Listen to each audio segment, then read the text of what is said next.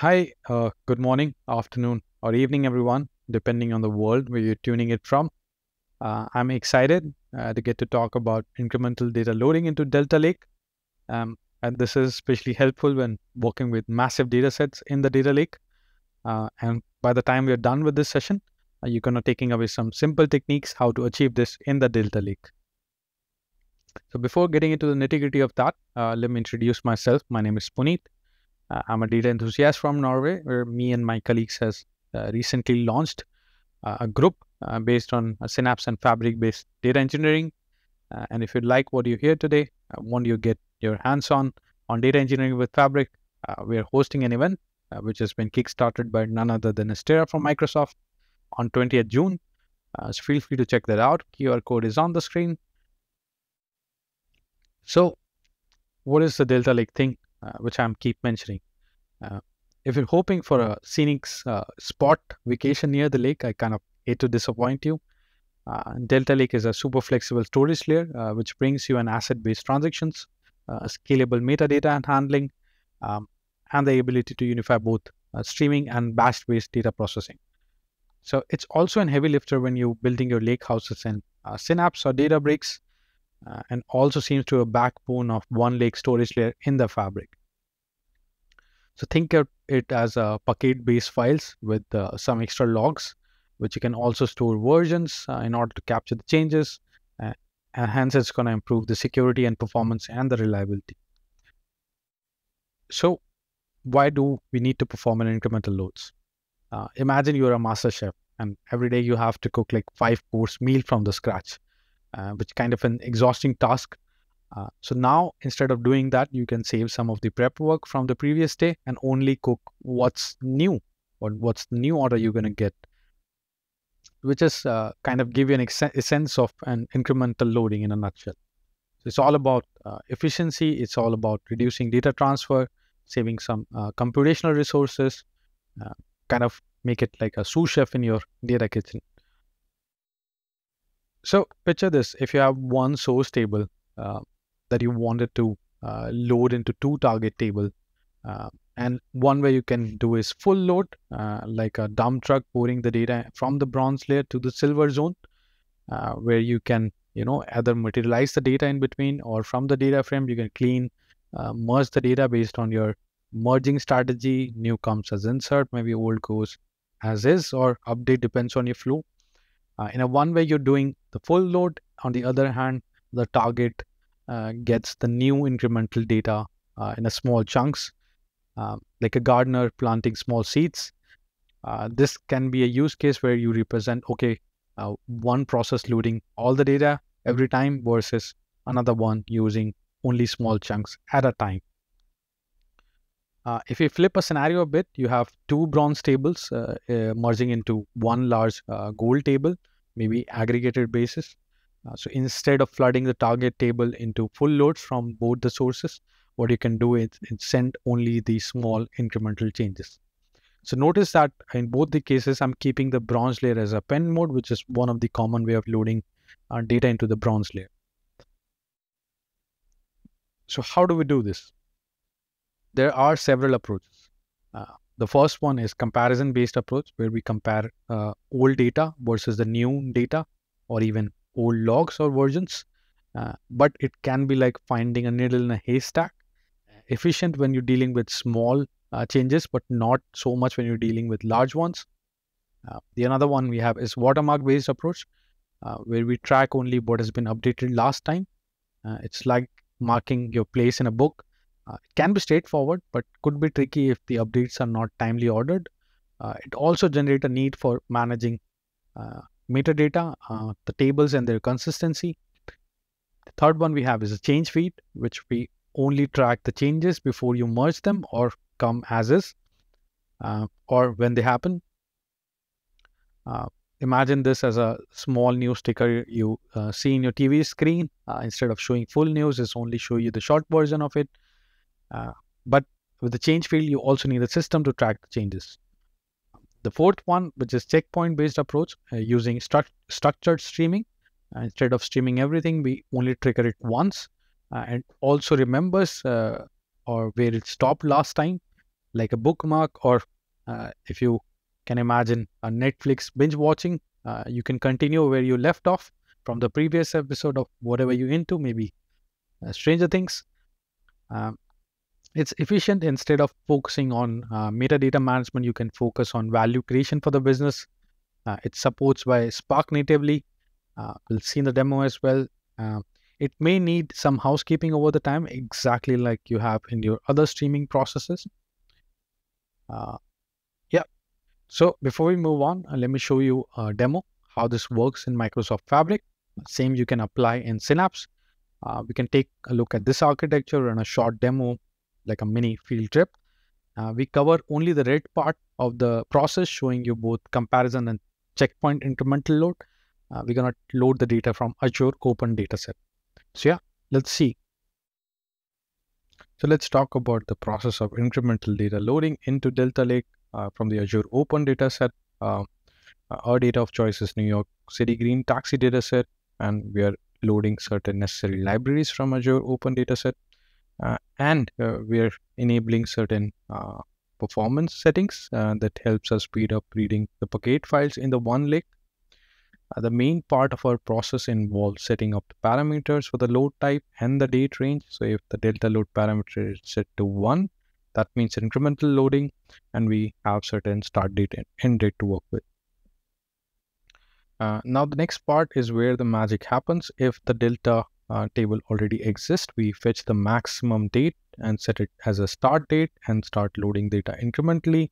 If it doesn't exist, it's going to take the parameter of start date from the parameter field and uh, set the end date as the next month.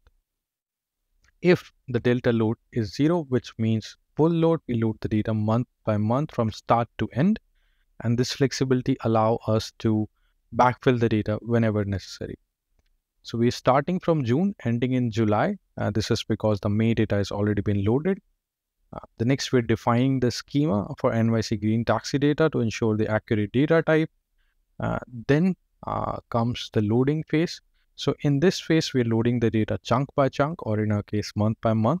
Uh, we fetch the data for the given month, load into data frame, uh, add some new columns into it, and write it back to the delta table in append mode and the process is repeated until all the data is loaded.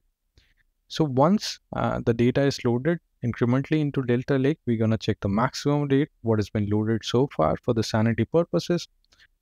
Uh, finally, uh, we're going to vacuum uh, the table uh, to maintain our data retention. And we're going to use the optimize command to manage our file size that's ensure the data remains manageable. Uh, so it, as it grows over the time. So yeah, this is the whole process uh, for incremental loading using comparison method uh, and we comparing what has been loaded before and loading the next iteration accordingly month by month into the bronze layer in a append fashion. And let's uh, jump now to the next notebook, uh, taking this appended data from the bronze layer into the silver layer. So now we're loading the data from a previously prepared bronze layer to the silver layer using the structured streaming, uh, but there is a twist we'll be triggering it only once effectively, uh, simulating the stream as a batch-based operation. Yeah, so let's get started. First, we'll load the necessary libraries. Uh, with these in place, uh, we're gonna generate a date dimension using a custom function. This function takes the start date and the end date and churns out the data frame filled with the dates. Uh, we then uh, load this date dimension into the silver layer and this operation overrides any existing data in the table. Then we define certain paths, which is base path, and then create a checkpoint directory path for the checkpoint file. Uh, and this file is a key file as it stores the metadata for our streaming operations. Uh, it holds the information natively handled by Spark. So like tracking already processed source files, identifying new ones, which is very crucial for loading incremental data from the bronze layer. We have now have added an extra feature, which is to reload the data from the bronze layer based on delta load flag. If this flag is set to zero, it checks and removes the checkpoint directory. What does this mean? This means that if we need to do full data reload, we can change this parameter. It will kickstart the checkpointing and initializing the stream We then define a function here uh, to write the data frame to the NYC green taxi underscore temp, which is our uh, intermediate layer into delta format uh, in an override mode. So every time a new increments come, instead of upserting them into the silver layer, we store them as an intermediate layer, hence capturing the changes. If the notebook fails at this step, it can still pick up where it left off, maintaining the consistent state. So as we choose uh, to simulate a streaming job as a batch-based operation, we are doing this by setting up this parameter, which is triggered once parameter equals to true. So instead of processing uh, this in intervals, we are saying that just do it one time. Uh, this saves us a cluster to keep it running all the time. Uh, so we're triggering it only once. Once our data is loaded, uh, we can start analyzing it by this minimum and maximum query. So I have this previous loaded data frame, which is from 1st May to 1st of June. So if I run uh, this again, uh, it's gonna bring us or show us at least the new increment, which I've already appended in our previous demo. So let's see what the result looks like. Yeah. So it's from 1st May to 1, uh, 1st of June. Uh, and now it's from 1st of June the 1st of July, which is a new incremental chunk. So now we have analyzed our incremental chunk is doing okay. Uh, we can also do certain cleanup operation to disable uh, retention duration checks and remove the old data in the table. We can finally enrich the data uh, with the holiday tables. And this is a shortcut table referencing the ex existing data from my existing ADLS and you can see it's represented as a link sign here. We enrich the data, we can represent that as a chart to analyze the taxi data, uh, maybe uh, of regular days versus holidays, which can be useful for decision-making processes. We can also bring certain extra libraries if we need to, uh, like Great Expectation to validate our data quality control so finally, with our enriched view, uh, which contains the small chunk of data rather than the large full set, uh, we can add an extra column like job name to enrich it further for the metadata and merge this small chunk data frame to the silver layer uh, on our lakehouse. So finally, there you go. We have successfully loaded the data from the bronze layer to the silver layer using the structured streaming uh, but simulating as a batch operation and perform some initial data analysis before the merging. So yeah, that was a short demo. Um, and uh, if you're a Databricks user, you can use a Databricks autoloader for incremental ingestion or checkpoint technique that we saw today from bronze to silver layer. Or if you have a use case, you can use proprietary DLT method, hence handling everything from ingestion to incremental updates like a charm. So yeah, there are certain things you need to consider. Few of them are data skew, ensure your data is evenly distributed for efficient processes. Uh, merge strategy, choose it wisely based on your data size and the change rate. Latency, if you have fast update, choose your approach that supports uh, or suits best for your processes. Parallel processing is make sure you use it to speed up your load by parallel processing. Uh, resource utilization be mindful for your resources. You don't want to exhaust them. So yeah uh, with that uh, we've come to an end uh, for our today's session. And as of june 24th this covers the strategy which i know and love. Uh, but this field is always on the move. That means it's always innovating. So don't be surprised if you come across some new strategies or more approaches to tackle incremental data load in the future I hope you find this insightful and remember the key is to always choose the right approach based on the environmental factors you're in.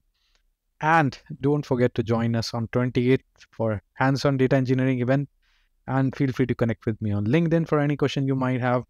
Thank you for your time.